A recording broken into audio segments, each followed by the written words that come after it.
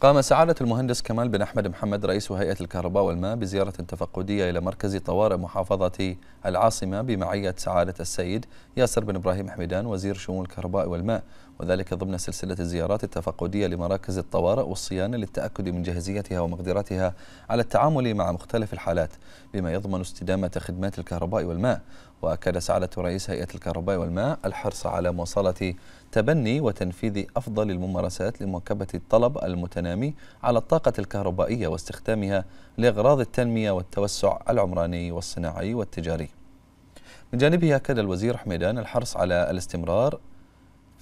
استمرار تطوير البنية التحتية وتوفير خدمات مستدامة ضمن أعلى مقاييس الكفاءة والفاعلية مشيرا إلى أن ما يميز شبكة الكهرباء في مملكة البحرين قدرتها على توفير خدمات ذات جودة واعتمادية وموثوقية على المستوى العالمي. وخلال الزيارة تم تقديم عرض يتعلق بدور قسم الصيانة والعمليات في الحفاظ على استدامة الخدمات إلى جانب استعراض آلية متابعة البلاغات منذ استلامها وكيفية التعامل معها. كما اطلع على ما يقوم به مركز الطوارئ محافظة العاصمة من دورات تدريبية مختلفة بالإضافة إلى زيارة محطة توزيع الكهرباء التي تعمل على نظام الأتمتة.